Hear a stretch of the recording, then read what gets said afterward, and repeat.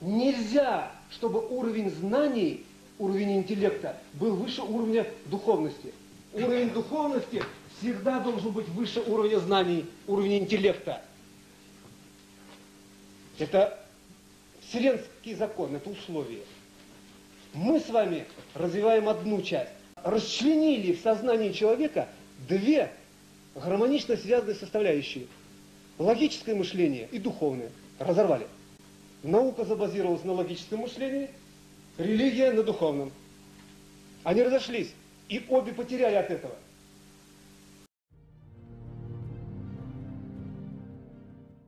О модели Вселенной, а, который, на который я получил международный сертификат как на открытие. Это новое, э, новый взгляд на мироустройство. А, из этой модели истекает новое мировоззрение. И то, что мы с вами обсуждаем сегодня, проблема образования, здесь очень плотно завязывается все. А, моя задача только уложиться в эти 15 минут. А, ну, меня обычно спрашивают после лекции, а как вы вообще ну, дошли до такой жизни, как вы открыли эту модель? Поэтому я сразу начинаю с этого. Все было очень просто. Я материалист, железный материалист, коммунист. И получил еще один международный сертификат на научное доказательство Бога во Вселенной. Сертификат ООН. И кратко это выглядит так. А, я, будучи на практике, э, я заканчивал факультет вычислительной техники в Ижевске, и будучи на практике на четвертом курсе на одном из ВЦ, а ВЦ так над водоемом в Ижевске, Э, увидел, как обычно там речной трамвайчик отходит от пристани и делает такой V-образный след на воде. Очень необычный след, он обычно так не, не разворачивается, а тут очень интересный разворот. У меня до, до работы на машине еще минут 30 где-то было. Трамвайчик ушел, а это июльский день. Июльский день очень ясный, но очень ветреный. И на поверхности большие волны с, с белыми гребешками.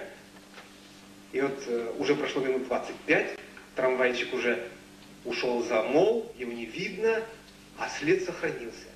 Я вижу след. Меня это очень удивило, но тут пригласили меня на машину, я ушел, целый день работал, там неудачно пошло все. И в 18 часов, возвращаясь к своему столу, чтобы взять свои тетрадки, я взглянул в окно. И я на поверхности водоема увидел тот след, который трамвайчик оставил в 9 часов утра.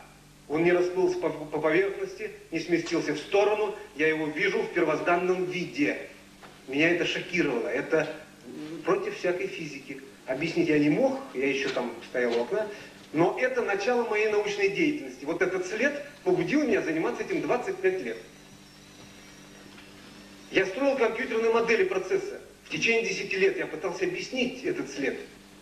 И вот в 81 году, то есть в 71 я увидел, а в 1981 году, где-то в январе, по-моему, 1981 года, очередная компьютерная модель дала мне ответ, что след на воде – это явление не физическое, а информационное.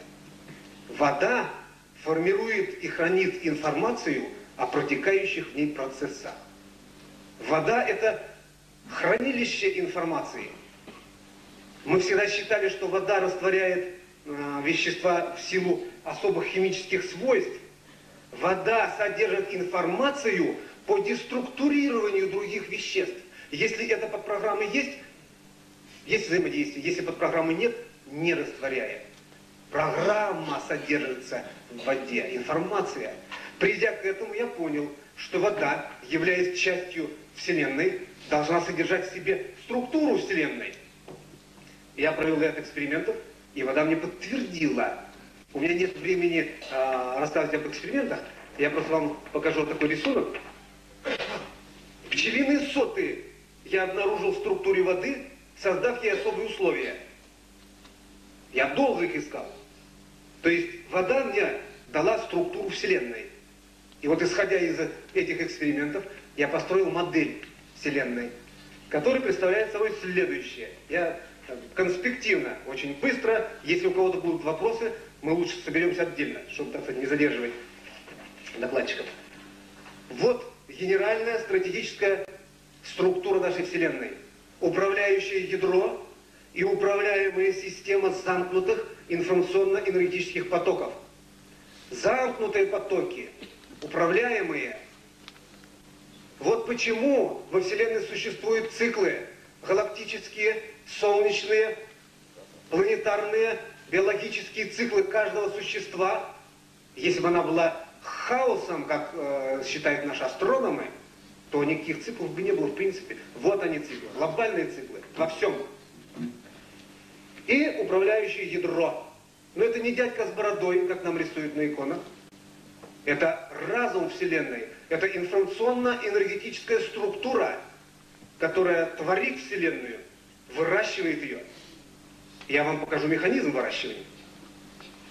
То есть древнее человечество, не будучи обремененным высшим образованием, чувствуя на себе влияние Вселенной, дало этому название Бог. Но здесь я условно показал вот эти потоки. Они, конечно, не такие. Они гораздо сложнее. Эти потоки представляют собой вот такие структуры. Это вихревые структуры.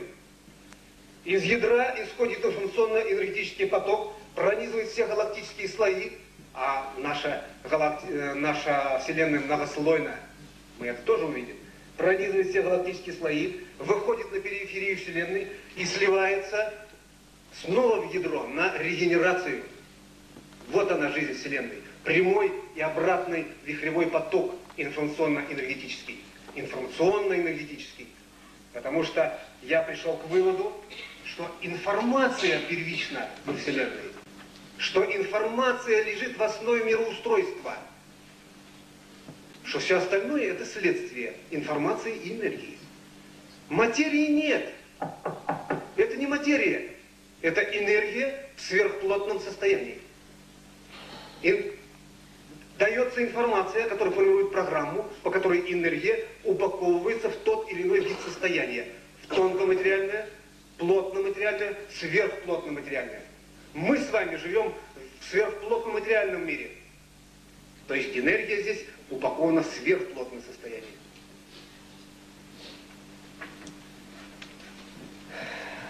Если вот на этот стояк, как я его называю, энергетический стояк, если на него посмотреть по-нормально сверху, чего мы не можем сделать, поэтому мы с вами всегда видим хаос, потому что мы смотрим под углом. А если посмотреть отсюда, то мы и увидели бы с вами те пчелиные соты, которые показала мне вода в сосуде. И в узлах вот этого шестиугольника находятся галактики. Все галактики имеют вот такую информационно-энергетическую структуру. Вот почему в Библии написано «И создал Бог твердь, и назвал твердь небом». Ну, в 22 года я был шокирован этим. Ну как небо может быть твердью? Вот она, коллеги, твердь. Это жесткая энергетическая структура. Теперь все понятно, что это твердь. Если соедин... Э, посмотреть вот на первый и второй рисунок, соединить их вместе, то мы увидим вот всю эту твердь вот в таком виде. Вот они, пчелиные соты, в многих слоях структуры Вселенной многослойная. И это же самое еще лучше видно вот на этом рисунке. Вот она наша красавица Вселенная. Она имеет вот такой вид.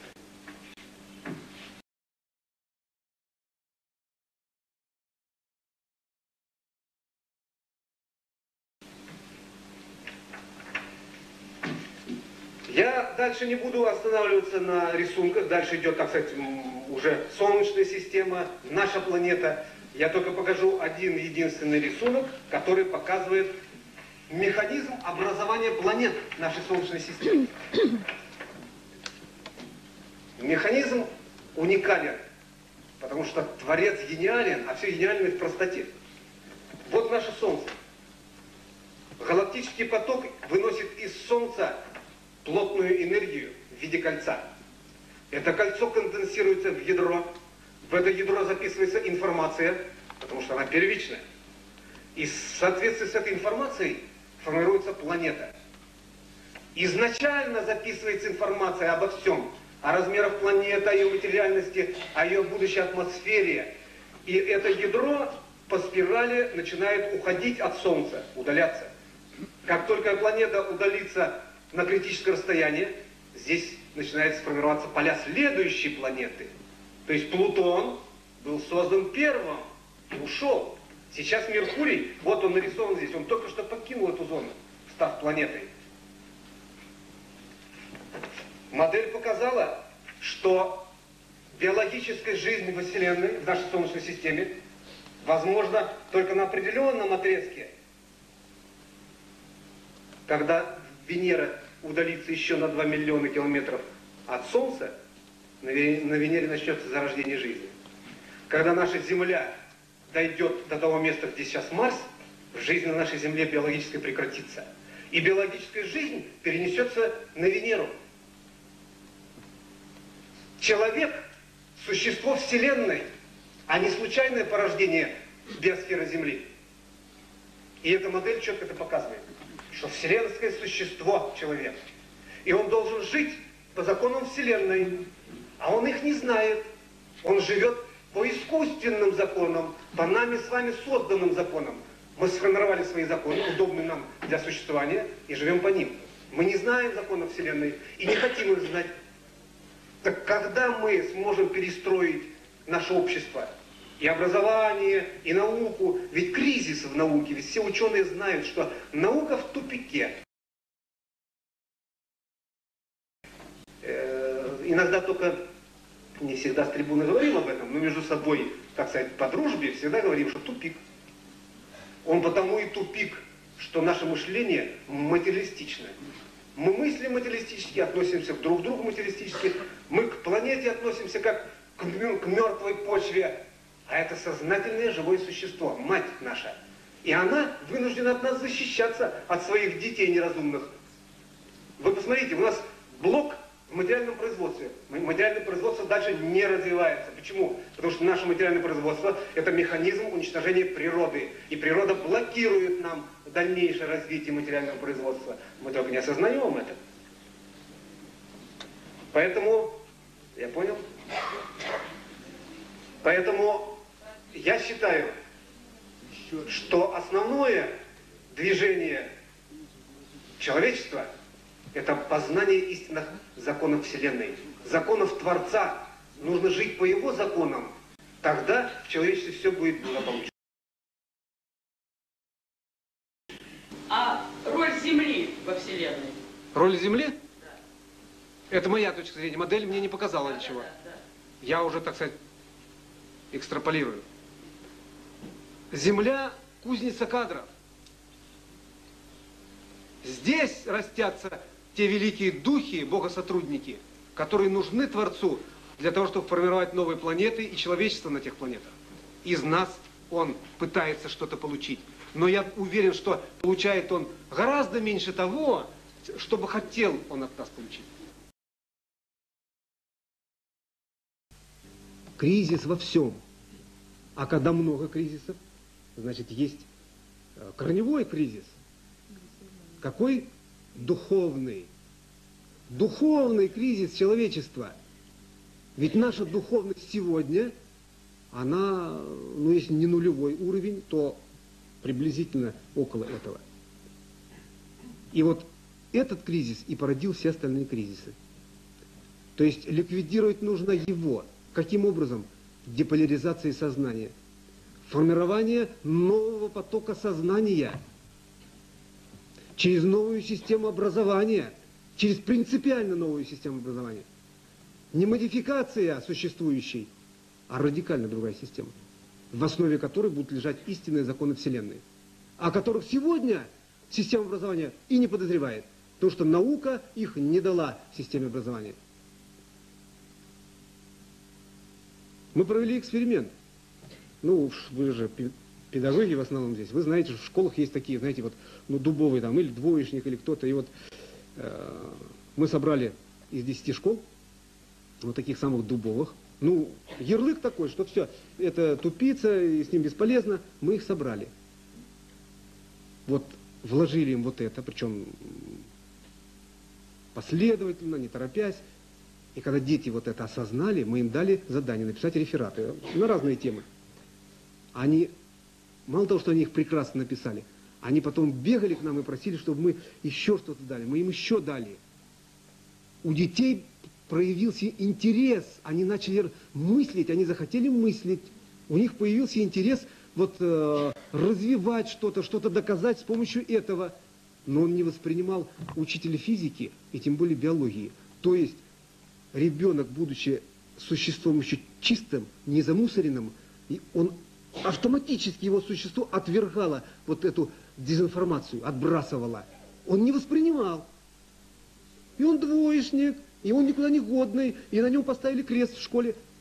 А он тонкое существо, он мыслящее существо. У него только мысль на другом уровне. Он больше духовно мыслит. Что осуществила современная наука? А я считаю, современная наука, это вот, она началась еще две с половиной тысячи лет назад. Меня поразил фраза одна, Пифагора. Великий Пифагор две с половиной тысячи лет назад написал фразу. Человечеству угрожает три бича. Материализм ученых, невежество священников и отсутствие дисциплины у демократии. Тире. На этом вырастает деспотизм. Братья и сестры, это же о нас сказано. Две с половиной тысячи лет назад. Уже тогда великий Пифагор видел, что материализм ученых принесет зло человечеству. Он видел, что фанатизм священников может погубить человечество. Он видел, что отсутствие дисциплины в демократических образованиях приведет к бардаку. Он сказал это о нас. Это о чем говорит? О том, что в течение двух с половиной тысяч лет человек как существо, он не меняется, он не хочет меняться. Ему выгодно находиться в том состоянии. И Творец дал нам на обдумывание две тысячи лет. В виде чего? В виде откровения Иоанна, который, над которым мы потешались с вами две тысячи лет. Хи-хи-хи, ха-ха-ха, подумаешь, конец света. Я вас поздравляю, этот процесс уже начался. Я вернулся только что с э, международного съезда, который проходил в Краснодаре. Международный съезд «Путь к согласию», на, на котором трое ученых научно обосновали реальность этого процесса и модель его э, предложили. И там четко показано, что кометой Хиакутаки, прошедшей с 26 марта по 2 апреля 1996 года, запущен механизм апокалипсиса. Процессы будут развиваться быстро, с нарастающими темпами. Пик событий приходится на 2003-2004 год. И дальше идут затухания до 2011 года. Нам отрезок-то времени вот такой остался, 14 лет. И вот там задают вопрос, а, а чё, что делать-то? Понимаете? А там написано, что если кто читал Откровение, он пишет, что и пойдет звезда, и пишет, что будет после звезды. Но падать ничего не будет. И мы же как читаем, конец света, это подошел, выключатель выключил, и все. Нет. Значит, модель показала, что не будет такого конца света. Что механизм апокалипсиса – это не механизм уничтожения человечества, а механизм его духовного очищения. Очищение человечества. Человечество не справилось со своей задачей за 2000 лет. И Вселенная осуществляет хирургическое вмешательство в больной организм человечества. Помочь нам подняться. Мы себя любовно называем цивилизацией, мы ей не являемся. Мы эмбрион будущей цивилизации. Вот из этого эмбриона сейчас останется та часть, которая понесет нас к созданию цивилизации на Земле. Задумывались ли вы над тем, почему пчела всегда строит именно шестиугольные соты. Оказывается, самый лучший способ построить склад с максимальной вместимостью, но с минимальной затратой материала, так это сделать его в форме шестигранника. Кем мог быть предусмотрен такой механизм? Творцом. Программистом, великим вселенским программистом. Ведь вся наша система образования – ну, только пусть не обижаются на меня педагоги, она порочная. С детского садика. Вы посмотрите, что мы воспитываем с ребенка. Ведь мы сразу в детском саду закладываем в него быть самым умным, самым красивым, самым быстрым, самым-самым. Потом он проходит школу, где в нем это же раскачивается, в ВУЗе это усиливается, и выходит монстр, который, у которого кроме эго ничего больше нет. О какой любви к ближнему может идти речь? А ведь это великий закон. Мы тоже на него смотрим, как на библейскую сказку, там, возлюби ближнего своего. А чего я ее любить-то буду? Он меня не любит. Ведь речь идет о другом. Относись к человеку так, как ты хотел, чтобы он относился к тебе. Ведь э, это вот такой закон. Возлюби ближнего своего. Вот этот закон, он сформулирован в одном из моих законов как закон глобального взаимодействия. Что все виды существуют в глобальном взаимодействии. И каждый вид развивается в соответствии с своей программой. Каждому виду дается коридор. Вот когда говорят судьба, и почему ты понимаешь, что судьба это вот линия, и ты никуда уже не можешь сойти с нее, ты должен только по этой линии пройти. Нет, нам дается коридор. Свобода выбора, как же, мы же, нам свобода нужна. Нельзя человеку не оставлять. И Творец оставил нам свободу. Пожалуйста, ты можешь выбрать. Коридор программный дается нам.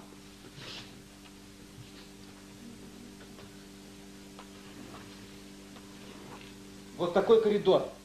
Каждому существу, каждому материальному образованию во Вселенной положена своя программа, вот этот коридор.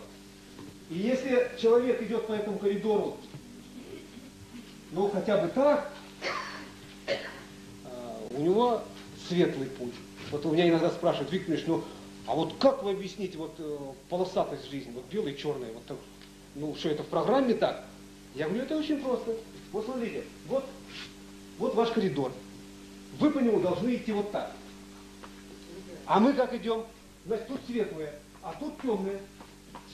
И тут тоже. Так мы с вами идем вот так. Вот она и полосатая жизнь. Мы не умеем идти правильно, потому что наше мышление поражено вирусом материализма. Материя первична, значит первичны материальные ценности, отношения между людьми только материальные, воспитание материальное, и жизнь наша ущербная в итоге. И общество наше живет по антивселенским законам и пришло в тупик. И отрицать это уже не может никто. Разрушается наше общество, разрушается система образования. Вы сами это подтвердили. Разрушается. Почему? Работают апокалипсические процессы. Неужели не замечаете? Японцы мрут от каких-то там кишечных заболеваний, врачи э, приходят э, в смятение, они не могут объяснить. Разваливается образование, пусть это не звучит для вас, так сказать, откровением, оно рассыпается, как не выполнившие функции, что нужна новая система образования, принципиально иная, в основе которой будет лежать духовное движение человека. Нельзя, чтобы уровень знаний, уровень интеллекта был выше уровня духовности. Как только уровень знаний выше уровня духовности, человечество получает атомную бомбу. Уровень духовности всегда должен быть выше уровня знаний, уровня интеллекта. Это вселенский закон, это условие. Мы с вами развиваем одну часть. Э, расчленили в сознании человека две гармонично связанные составляющие. Логическое мышление и духовное разорвали. Наука забазировалась на логическом мышлении, религия на духовном. Они разошлись, и обе потеряли от этого. И от, просто от разобщения а, привели все антагонизму.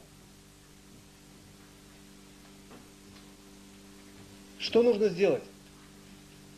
Вернуть все в исходное состояние. Ведь полярности они никогда не давали открытий.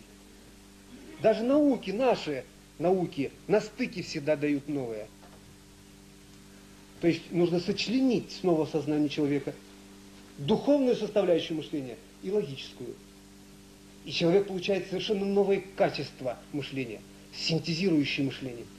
Мышление, с помощью которого человек в состоянии погрузиться внутрь явления и увидеть его корни, увидеть истину внутри явления. И это не мистика, это не фантастика. Каждый человек обладает этим, в него заложено это. Это нужно только развить в себе, вернуться э, к исходному состоянию. Это заложено в нас. И это уже опыт показывает, что люди, которые занимаются серьезно над собой, они пришли к этому. И это совершенно другое чувство, это совершенно другое видение мира. То, что мы с вами называем озарением, вот блеснуло когда-то у этого человека озарение, это рабочий процесс.